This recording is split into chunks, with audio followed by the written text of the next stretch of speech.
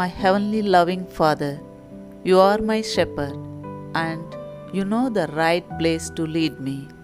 I trust you to take me where I will be well fed and protected because you are always with me.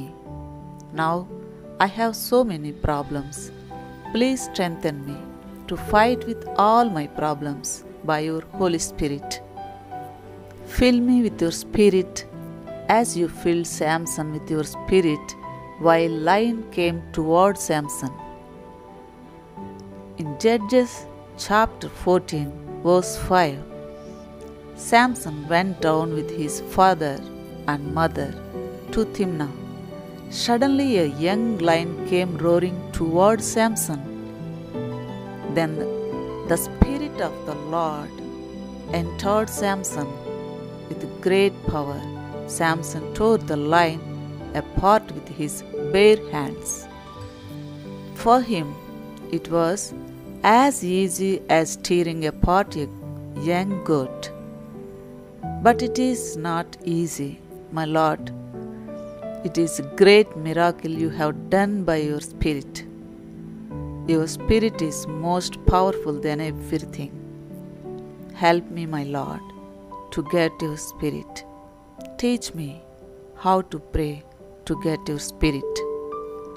And give me your mind to pray perfectly. I don't know how to pray powerfully, but you send your Spirit to help us while we are praying. So make me to pray with your Spirit. Strengthen me like Samson because I am weak.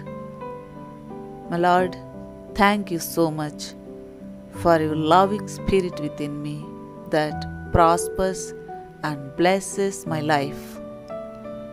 Lord, you are my source of abundant living. I place my trust in you, knowing that you will give me and multiply my blessings. Lord, you are my source. Your love fills my heart and attracts to me all good things.